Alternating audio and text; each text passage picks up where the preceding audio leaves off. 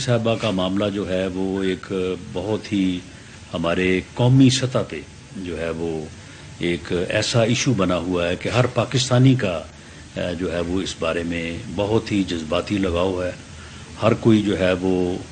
गमजदा भी है और अफसोस भी है कि किस तरह से उन्हें एक बहुत लंबा अरसा छियासी साल के लिए जो है वो कैद कर दिया गया है। और पिछले दिनों जो उनकी बहन डॉक्टर फौजिया सिद्दीकी साहबा ने उनसे मुलाकात की है और उस मुलाकात का जो अहवाल जो है वो सामने आया है। तो मैं समझता हूँ कि वो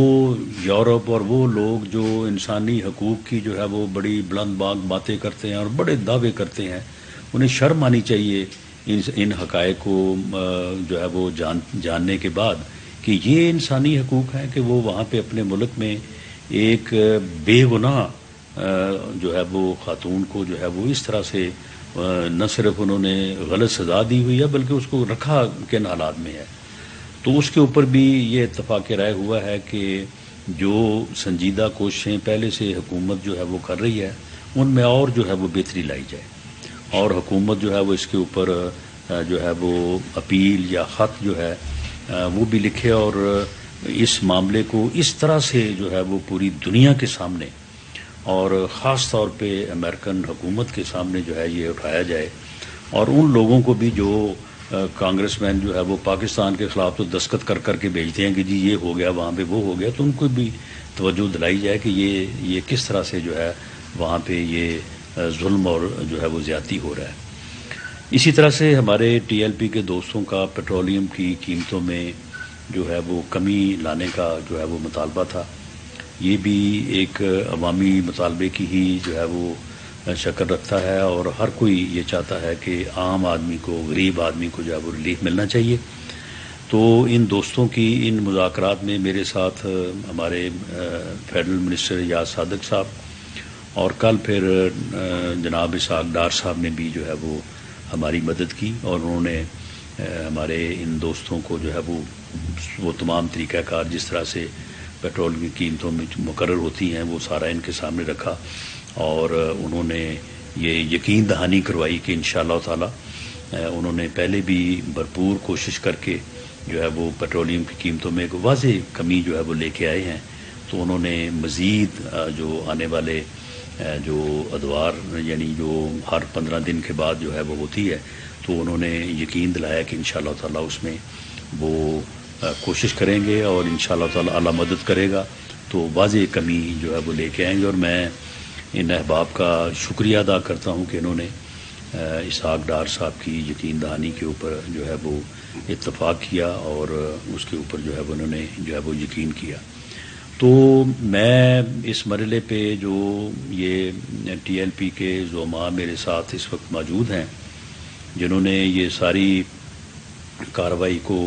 तीन चार दिन जो है वो बहुत ही तदब्बर से और एक अमन और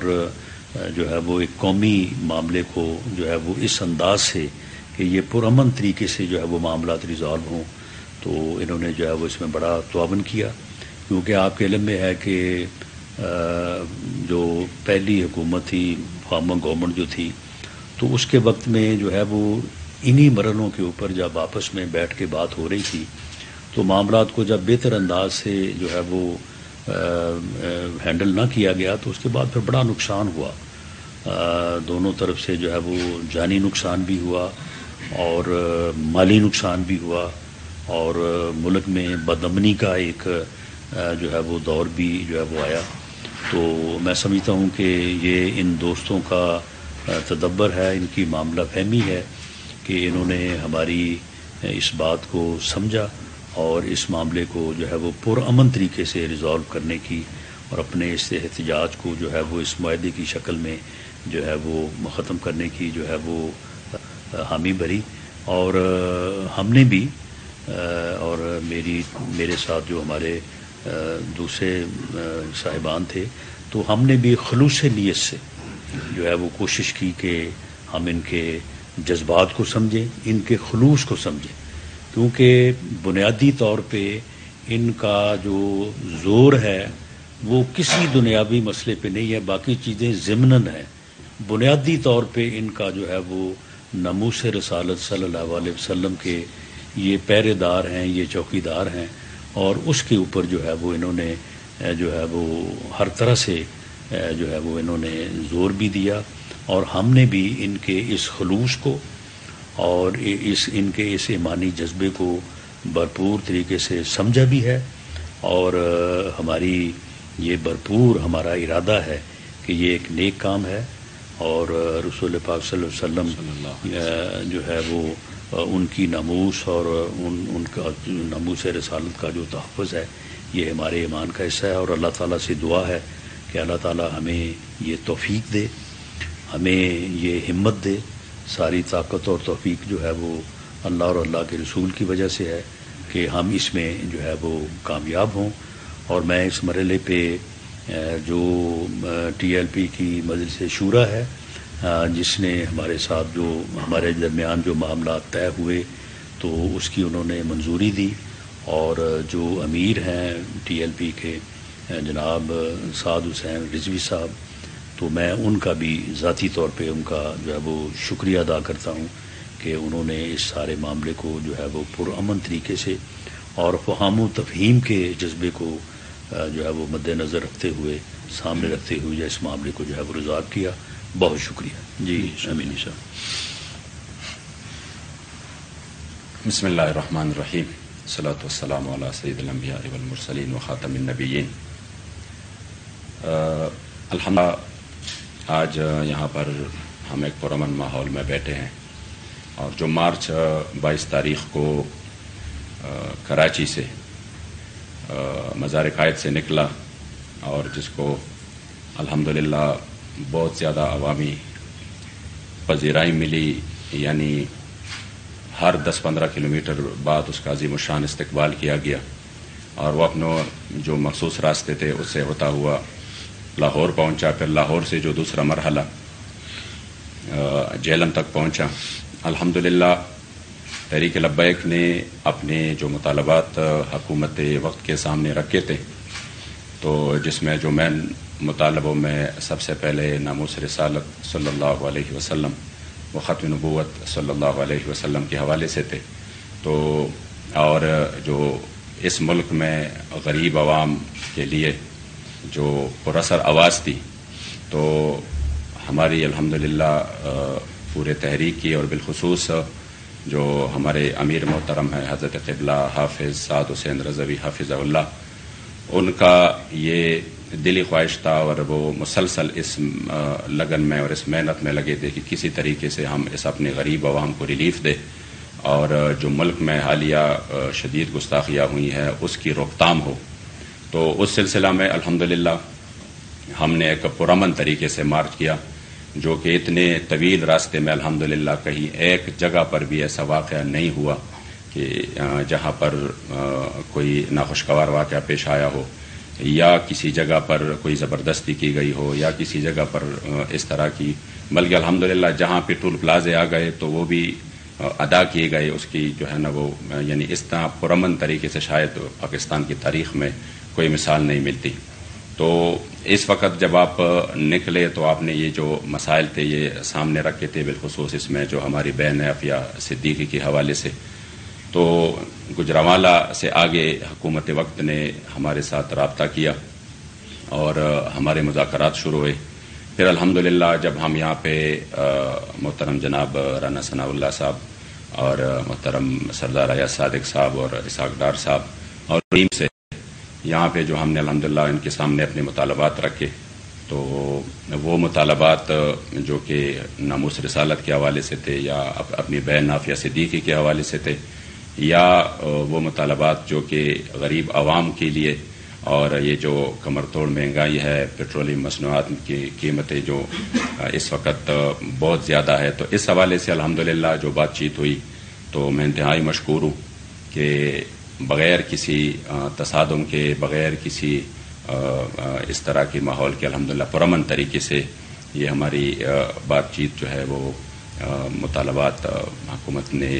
मान लिए और सबसे जो बेहतर बात है वो ये है कि जो शायद, जो पुरानी रिवायात थी इस तरह कि पुरमन जुलूसों पर और पुरमन एहतजाज पर जिस तरह जुल्म हुआ, जिस तरह तशद हुआ, बिलखसूस तहरीक लबैक पाकिस्तान, जिसकी तारीख अलहमदिल्ला पुरमन है, और इस पर किस तरीके से तशद हुआ तो शायद लोग समझ रहे थे कि इस हकूमत में भी इस तरह के वाकयात शायद पेश आने वाले हैं। लेकिन मैं खसूसी तौर पर राना सनाउल्ला साहब का शुक्रिया अदा करता हूँ कि उन्होंने आवाम के और अपनी जो मुल्क है, इसके हालात को समझते हुए और उसका इतराक करते हुए और इतने बड़े क्राउड और इतने बड़े लाखों लोगों की जज्बात की कदर करते हुए हमारे मुतालबात अलहमदिल्ला वो मान लिए। उम्मीद यही करते हैं कि सबका जो कुछ तलख तजर्बात है वो इन ताला फिर से नहीं दोहराए जाएँगे। और जो इनसे इन ताला जो मुतालबात जिस पर बातचीत हुई है, उम्मीद इन ताला कि उस पर मेहमान अमल किया जाएगा। और जो इस मुल्क की सालमियत, जो कि हम सबको अज़ीज़ है, इस मुल्क में अमन की फ़िज़ा बरकरार रखना, जो कि हम सबका, और इस मुल्क में गरीब को उसकी जो है ना वो ज़िंदगी आसान करना, जो कि तहरीक लब्बैक का मंशूर भी है। तो इन ताला उम्मीद है कि इस उनमें इन उमूर में मिलकर इन ताला हम आगे बढ़ेंगे। तो मैं राना सनाउल्ला साहब आपका, और अया सादिक साहब का, इसी तरह इसहाक डार साहब का सबका तय दिल से इन शुक्रिया अदा करते हैं बिलखसूस जो आपने बेनाफिया सिद्दीकी के हवाले से अपने जज्बात का इजहार किया। और इसी वक्त एक पूरे मुसलमानों के दिल की आवाज़ है। तो इसी में इन ताला जो तहरीक लब्बैक की हमारे बाबा जी ने शुरू दिन से जो उस मुतालबे को और इस बात को हर फोरम पे उठाया तो उम्मीद है इन ताला कि उसी में एक बेहतर इंतज़ाम और इकदाम होंगे। अल्लाह करीम जल्ला जलालू तमाम अहबाब को जिन्होंने इस पुरमन फिजा को कायम रखने में कोशिश की जजाय खैर दें। और बिलखसूस हमारे अमीर मोहतरम जिसके पास हम ये सब कुछ ले के गए और उन्होंने आगे जाकर उसको तस्लीम कर लिया और कहा कि बिल्कुल हम चाहते हैं कि पुरमन तरीके से कभी भी हमने तशद का रास्ता नहीं अपनाया। तो और फिर उन कारकुनान का जो उस दिन से चले हैं और आज तक है और पूरे इस्तकामत के साथ अल्लाह करीम सबका हामी और नासिर हो। और हम सब हम तह दिल से मशगूल